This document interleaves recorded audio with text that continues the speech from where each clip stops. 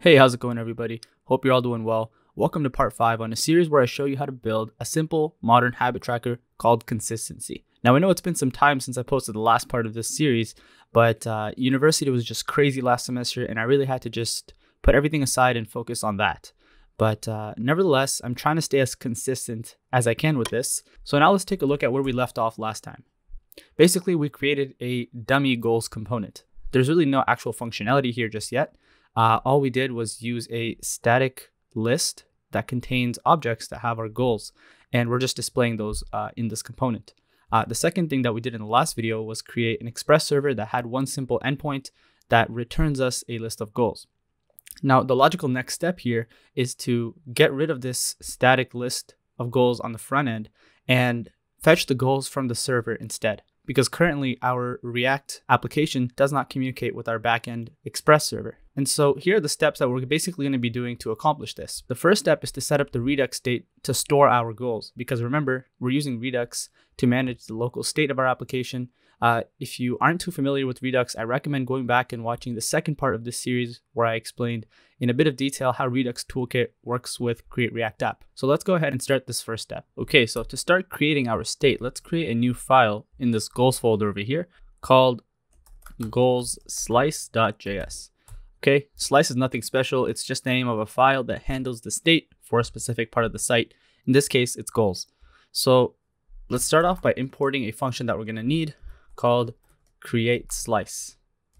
And that's going to be from redux.js slash toolkit.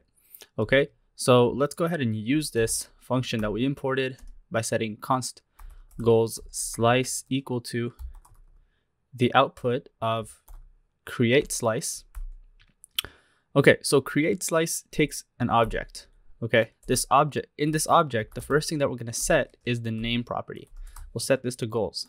Okay, the second thing is going to be an initial state. And we'll create a constant called init goals state. And we'll also have some reducers. For now, we'll be we'll keep it empty, and we'll also have extra reducers.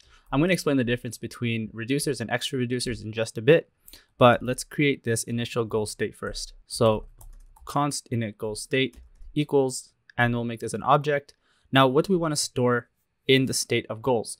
Well, the first obvious thing is a goals list, and that's going to start off as an empty list. Now we also want to keep track of the loading state because when we send API requests, we can change the loading state and display some kind of loading thing on the front end. So we'll set this to idle to start off with, and we also want to keep track of the error states. Uh, this is going to start off as null. Okay, so the last thing that we want to do in this file for now is export default goal slice dot reducers. Okay, let's save this and let's have a look at the browser console, and look at the Redux tab. Right now, all we have is the counter state. Well, the reason is because if you go to store.js, which is basically where the store is created, we only have what came out of the box with Redux Toolkit, which is just this counter state. Again, if you want a refresher of how Redux Toolkit works, I recommend going back and watching part two. So let's take this out for now as we don't need it anymore. And let's also remove the import for that. And instead of that, let's import the reducer that we just created which is goals reducer from components slash goals slash goals slice. And now in the configure store reducer, let's set the let's set the property goals equal to the goals reducer. Now let's save this and take a look at the browser console once again. And under the state, we now have goals with our initial state that we set up. Okay, great. So let's mark that first step off the list. We now have a Redux state that stores our goals. So the second thing that we need to do is set up an asynchronous function that calls the slash goals endpoint. So if we take a look at the code, we created this endpoint slash goals and we tested it out with the Postman API in the last video. And it just returns this list of goals. But now from the front end, in order to send a request to the server at that URL, we need to create an asynchronous function. So to do that, we're going to use another function from Redux Toolkit called create async thunk. Okay, it's kind of a funny function name, but it's very, very useful and I'll explain why in just a sec. So let's set const get goals equal to create async thunk. It's going to be equal to whatever create async thunk returns. And now before writing more code, I do want to just explain what exactly this function does because it could be a little bit confusing.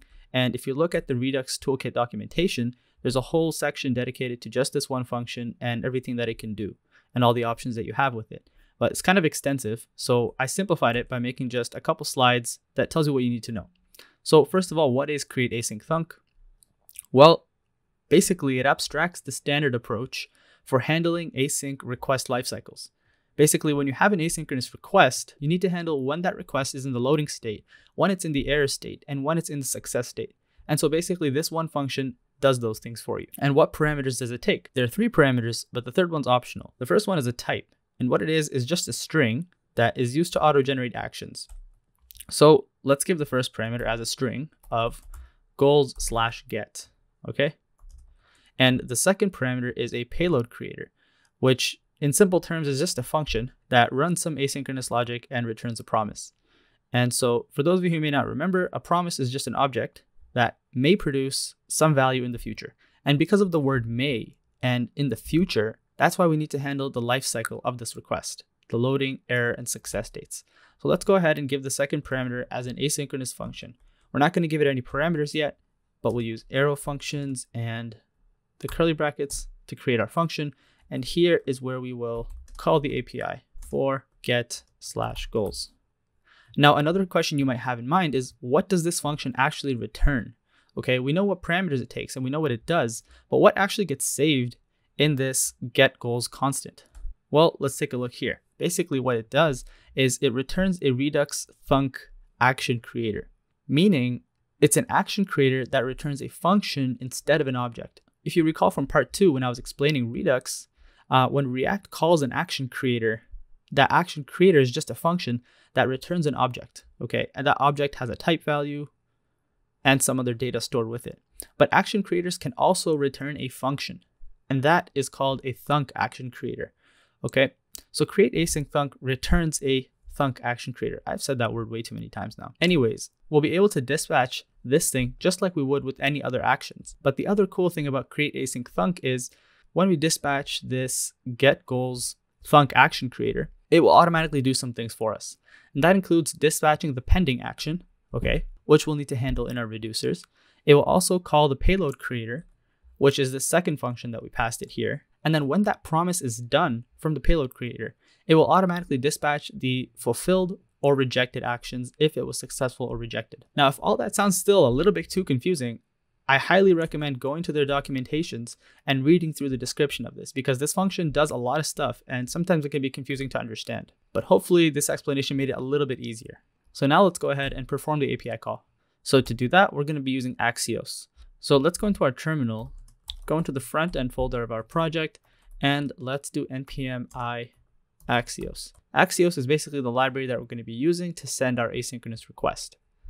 Okay, cool, that's done. Let's go back into the code and at the top of our go slice file, let's import Axios from Axios. And then to actually make our call, it's very simple. We'll set the response of our API request equal to await axios.get. In the future, we're going to be making different types of API requests like put, post, and delete.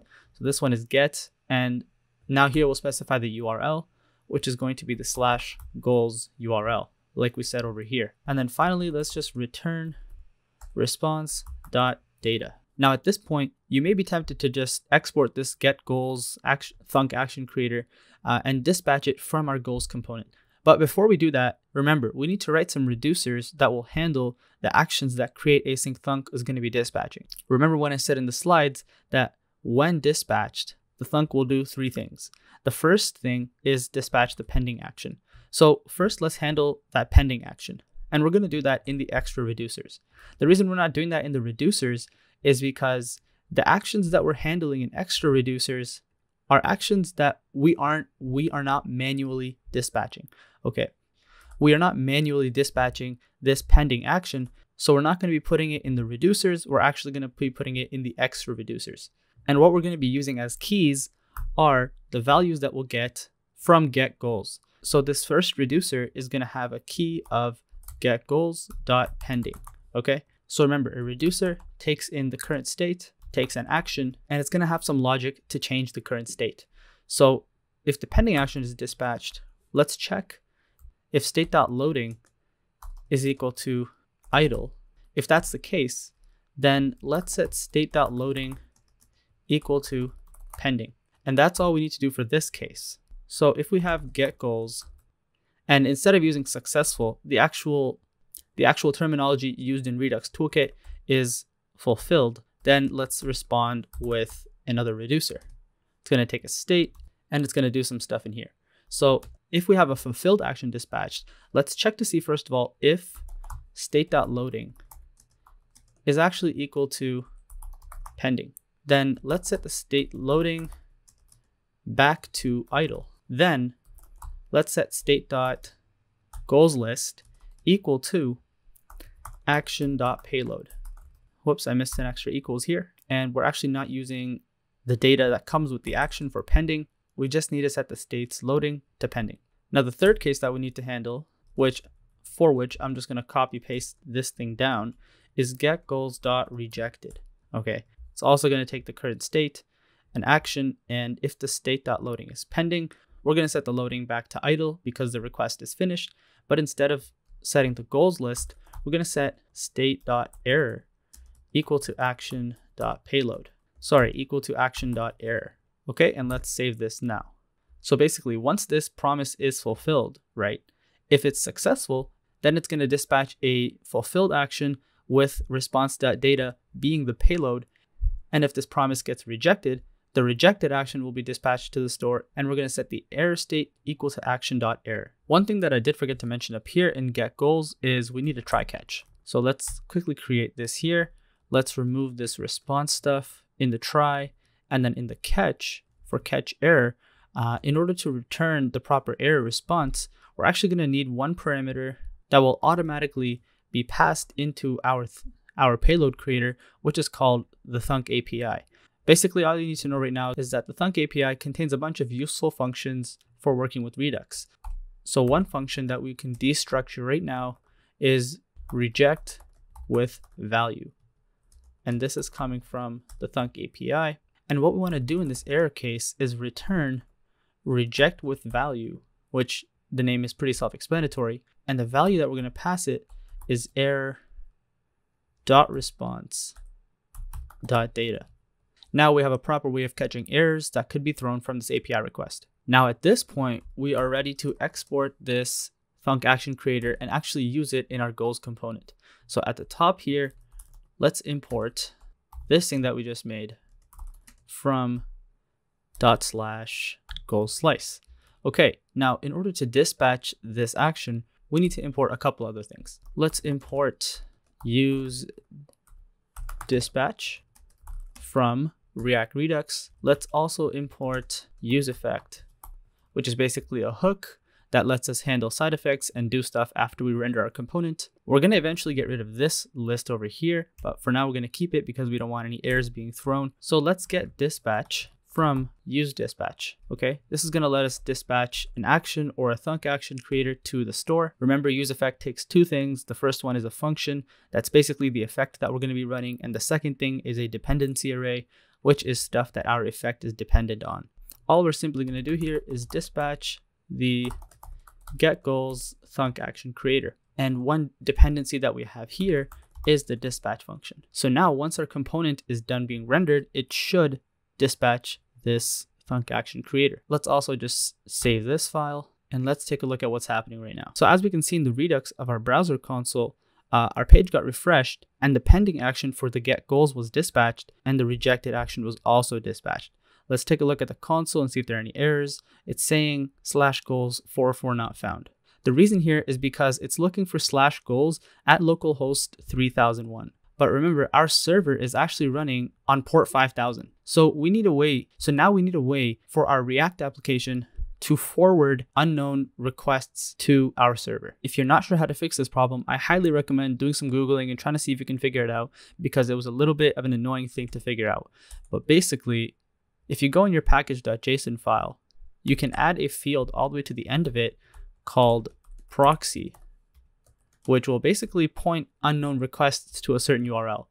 And that URL for us is going to be http colon slash slash localhost 5001. I actually have something else running on 5000, so I'm using 5001 and then slash at the end. Now let's save this. And since we manually made a change to the package.json, we're gonna have to reload our React application. So let's go to the terminal and restart the front end.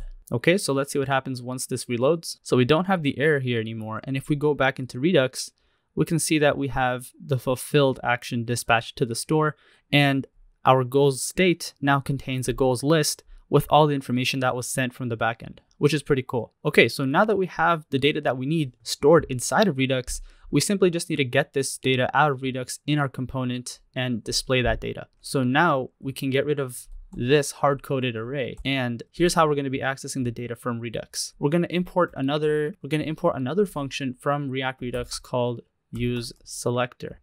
And what this does is basically allow us to select a certain part of our state. So if we use some quick autocomplete stuff here, we can set goal state equal to use selector, which is going to take in the current state and return state dot goals. And then from goal state, let's destructure goals list.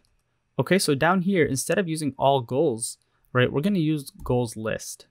And before we do the map, in just in case goals list is initially the empty list, we don't want to map over the empty list. So let's put a condition here where if goals list is not empty, then it'll do this map. So let's save this and see what's and see what's happening. Okay, awesome. So it looks like it's displaying the data that came directly from our backend. If you want to confirm this, let's quickly look here. We just have lose weight, goal one, goal two, and goal three, which is exactly what it's displaying here. So that's going to check off number two, and it's also going to check off number three. We have one more thing left to do. We have the use effect, but now we need the error and the loading states to display within our component. That's very easy as well. We actually already have the error and the loading states within our Redux state as well. We just need to get those in our component. So along with goals list, let's also get loading and error. So within goals container, if we have an error, then let's display a div that just says error fetching goals. And let's have another condition where if the loading equals pending, then we'll do either one thing or we'll do another thing. The first thing is pretty simple. Let's just display a div that says loading. And then for the second thing, and then the second thing, if the loading is not pending, it's basically just going to be whatever else we have here. So let's cut all of this, put a fragment, and paste whatever we had there.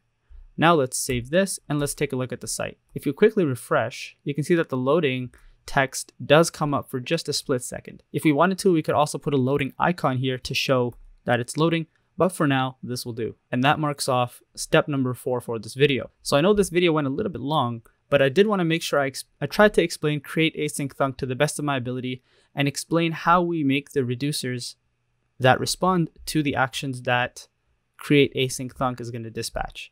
So at this point, the front end of our goals component is fully synced up with the back end. We could start working on adding goals in the next video, but the thing is, I want to make sure that when we add a goal, that goal is associated with a particular user. And in the future, we're going to be modifying our get goals so that we get goals for a specific user. But the problem is right now, we don't actually have users.